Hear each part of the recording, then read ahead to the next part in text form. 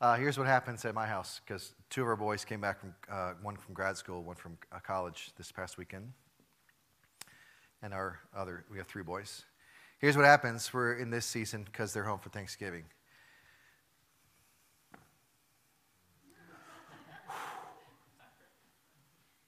or they go over here and they go. It's that turning uh, shelves, right? Has all the food, the junk food in it. They kick it open and they go, reach in here. They're searching. What are you doing? I'm, I'm just hungry. I'm searching for something to eat, right? That's all they're doing. They're searching.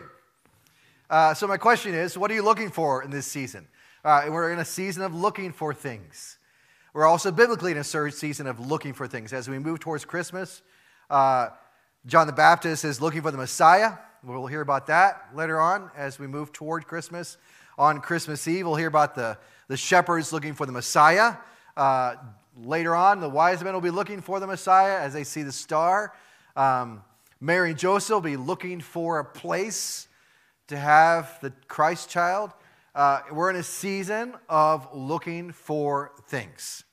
And not to mention, certainly, uh, the gifts and all the things that come with this season as well. It's a searching time, it's a looking for time. But let me ask you something even deeper. I mean, on one level, that's true, biblically and uh, spiritually, bib- biblically, and just life in general.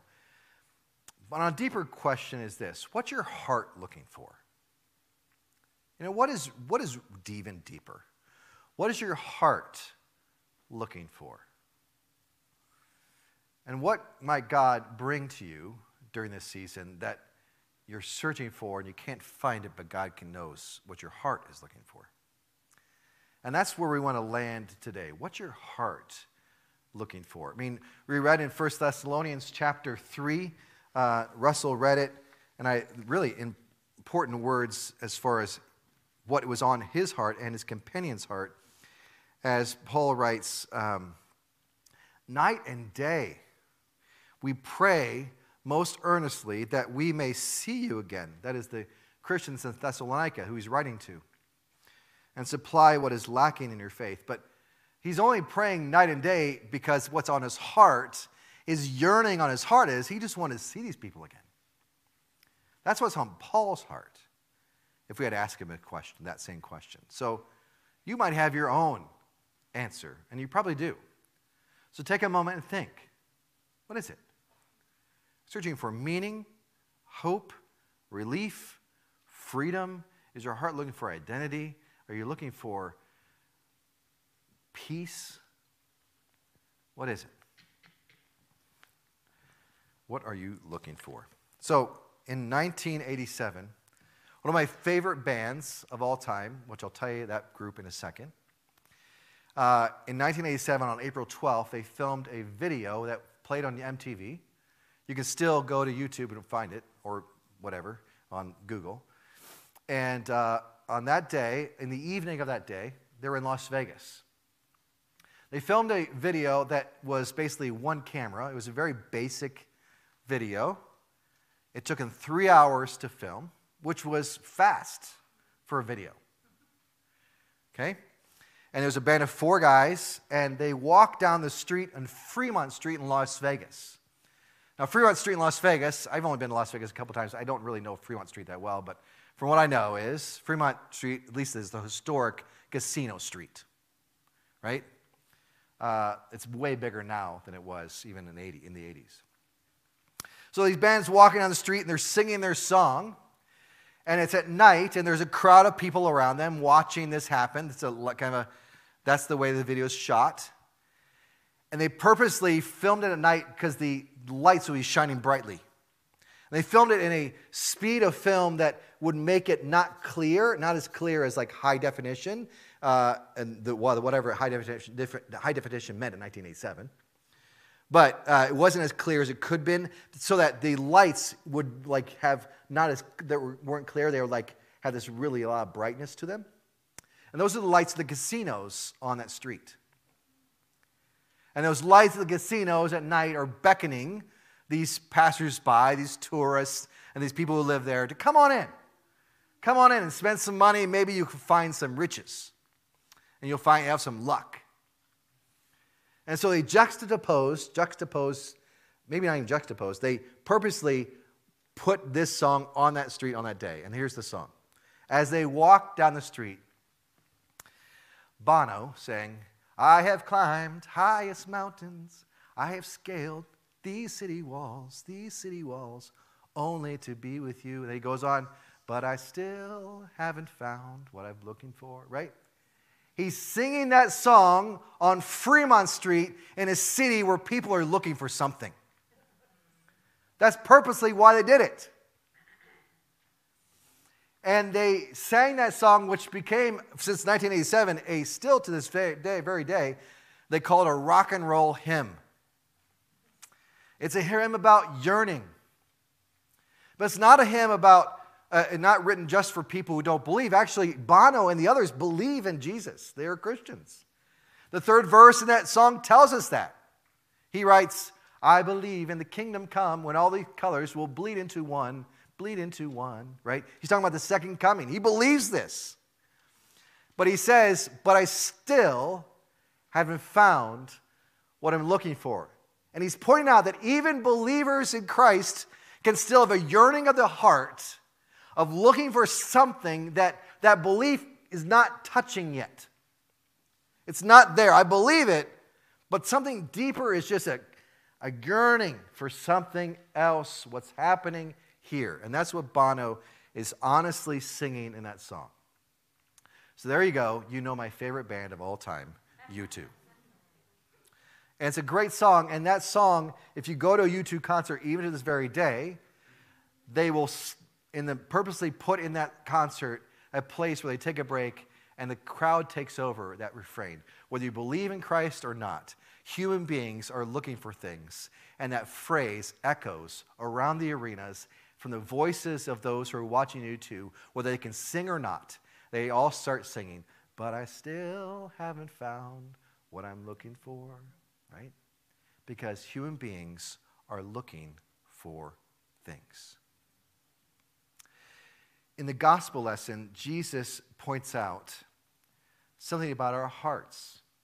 He says, Do not let your hearts, and be careful that your hearts are not weighed down with carousing and drunkenness and the anxieties of this life. Prior to that, he talks about the unraveling of the universe, right? He begins to begin to talk about how they, this is going to happen, these bad things going to happen, these bad things are going to happen. But stand up and watch, the Son of Man is coming again.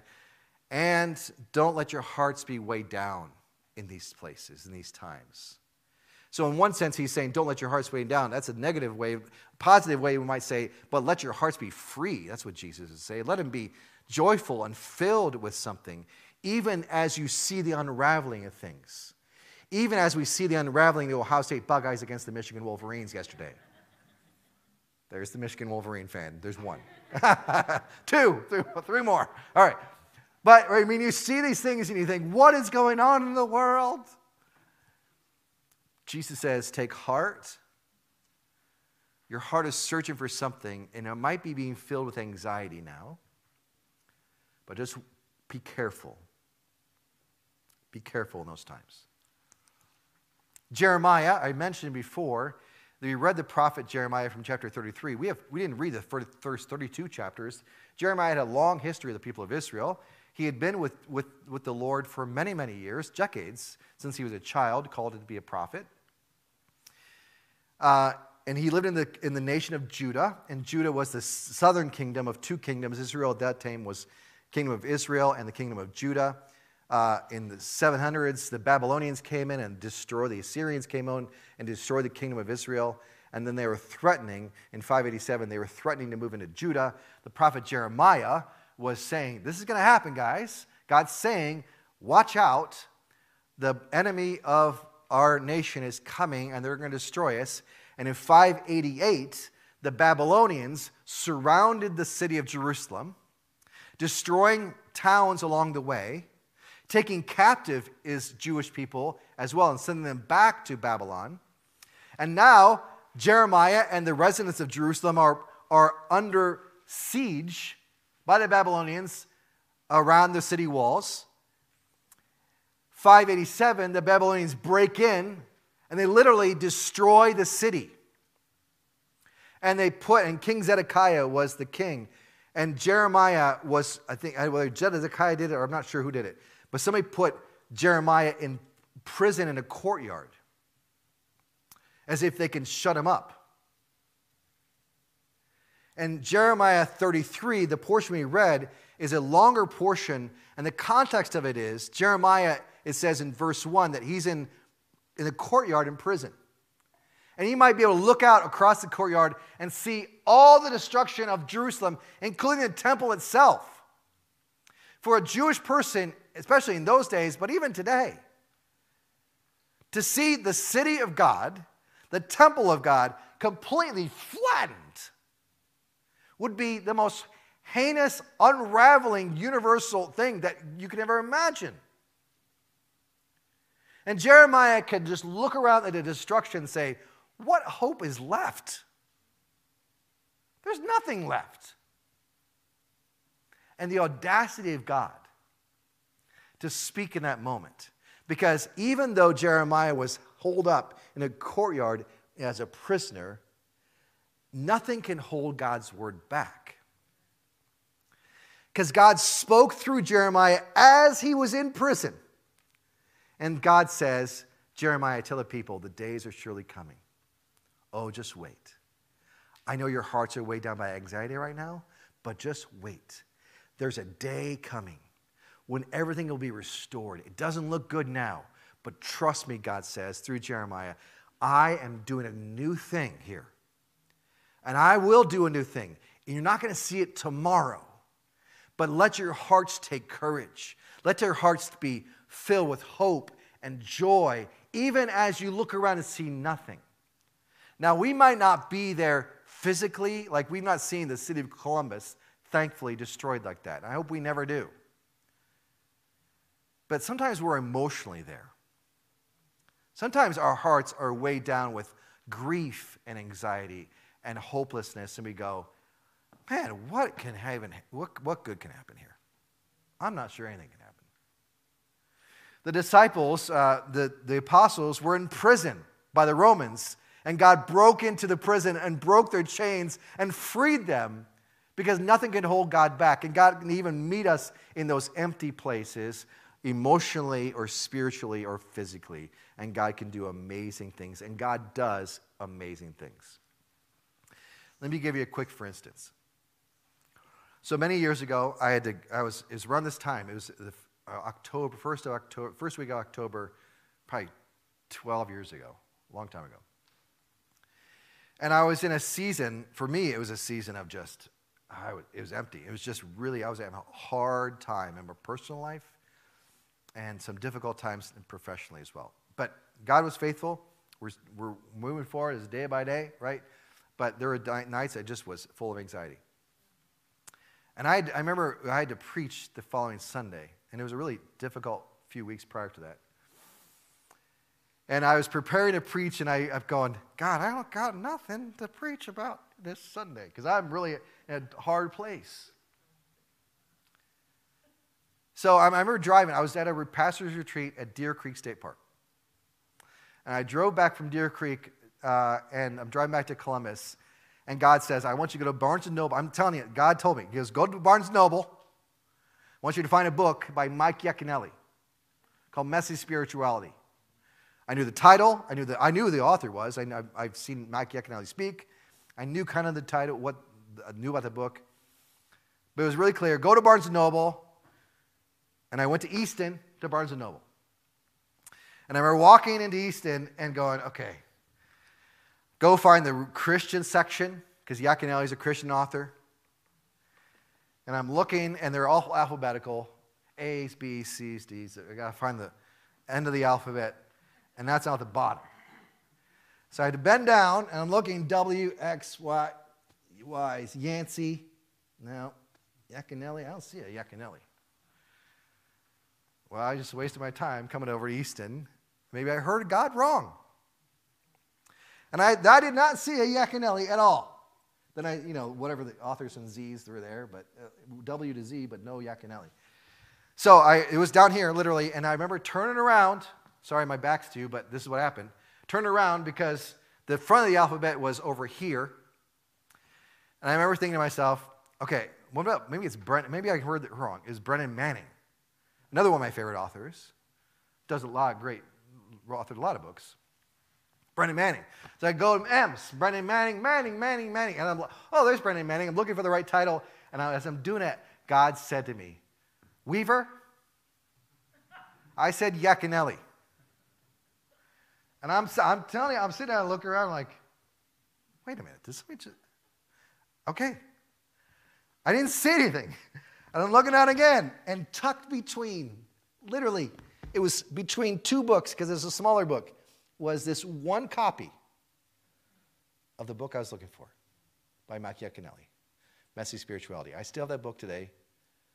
And I picked it out, I looked at it, and it was the exact right thing I needed. And what God was saying to me, God, Mike, life is messy. It is. Our hearts do get weighed down with anxiety and sadness and despair and anger and frustration. It happens. That's life. And sometimes we feel imprisoned. But God meets us in those places, and He just used Mike Yaconelli's book to show me something that I could say on Sunday morning. I didn't give a book report on Sunday, morning. don't get me wrong, right? By the way, let me just read to you first chapter of Mike Yaconelli. I didn't do that. But he helped inspire me for that sermon, a sermon that was beyond my ability to speak that day. I was, and I'm not saying, all I'm saying is, I was in a place where I was just open to let God do what only God can do. And I'm not, just, I'm not anything special, that's for all of us. We all are in that place sometimes. And God can do and meet us in places, in those places, and meet that need to move us forward to a better day tomorrow. Jesus said, the grown Jesus said this. It's recorded in the Gospels Seek first the kingdom of God, and everything else will be added unto you. He's saying that in the context of a teaching about worry. Because even Jesus knows our hearts can be weighed down even with that, with worry. That our hearts are searching for help in the worry, peace in the worry, t- trust in the worry. And Jesus says, if you're searching for those things, seek not for trust, seek my kingdom, because when you get my kingdom, Jesus, who is Jesus, you get me, you get everything. Identity and purpose and meaning and hope and grace and joy and relief. Because Jesus is the author of all those things and gives it to us freely.